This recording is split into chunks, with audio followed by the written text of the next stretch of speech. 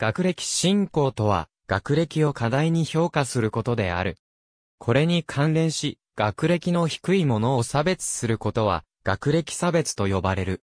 学歴を参照することは、比較的簡単に個人の専攻分野並びに、その関連分野における問題解決能力や知識量を評価する手段となり得ると考えられている。また、これによって、環境や分野に依拠しない俗人的な知的能力を客観的に評価できるという信念が存在する。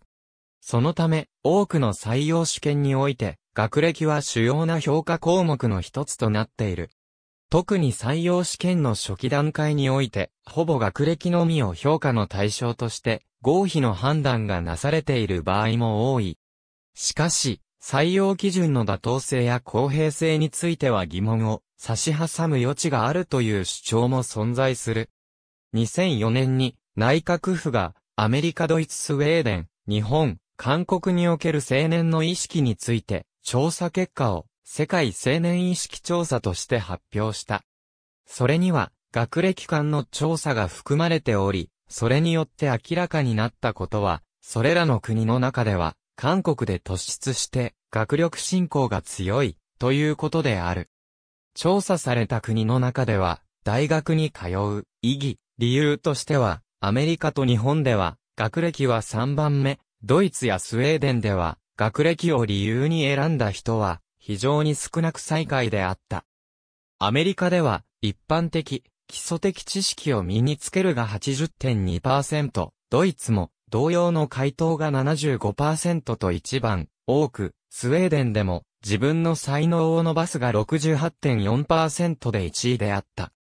それに対して、韓国では、大学に通う、意義、理由の回答として、学歴や資格を得るを挙げた青年が52.5%と1位であった。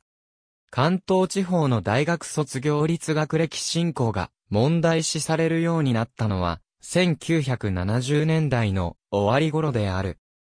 この頃、1978年度の共通一次試験の開始によって受験戦争が過激化し、学歴進行はますます高まっていたが、一方で1979年の日本の大学においては、大学関係者の声として、大学での学問や教育のあり方が危機的な状況になってしまった原因は、学歴進行にあるとしている。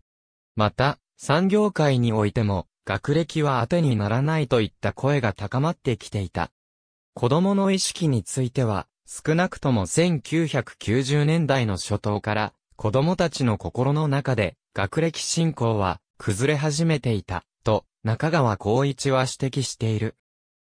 1996年の段階で、社会の中の学歴進行や学校進行に陰りが見え始めたとの指摘がある。これは首都圏に住まない受験生が首都圏に住む受験生と対等な勝負を行うのが極めて難しいからである。逆に首都圏、関西圏では中学受験ブームとという受験の低年齢化が進み、親の学歴、経済力が大きくなっている。そのため同じ首都圏でも足立、江戸川、葛飾といった新下町や、公立王国である千葉、埼玉では、中学受験ブームは起こっていない。ただし、首都圏に住む受験生とその親同士の学歴進行は存続している。官僚となる国家公務員総合職の採用者数は、引率、大卒ともに、東京大学が圧倒的なトップを占めており、学歴重視の採用基準であることが疑われている。また、東証第一部上場企業の新入社員の初任給の水準は、大学院卒修士で22万2933円、大学学部卒で20万4782円、高校卒で16万883円程度となっている。加えて、一流大学卒が入る大企業は昇給が大きいので、年齢とともに差が開いていく。ただし、工業高校で成績優秀な生徒は大手メーカーの技能職になり、昇給が大きいことも多い。そのため地域貢献型国立大学の入試難易度を下回る大学から中小企業、接客業、派遣社員などに就職した大卒の方が、年収が低くなるという逆転現象も見られる。地域貢献型国立大学の入試難易度を下回る大学であっても就職に強い気伝系を先行すれば、そのような事態を避けることができると言われている。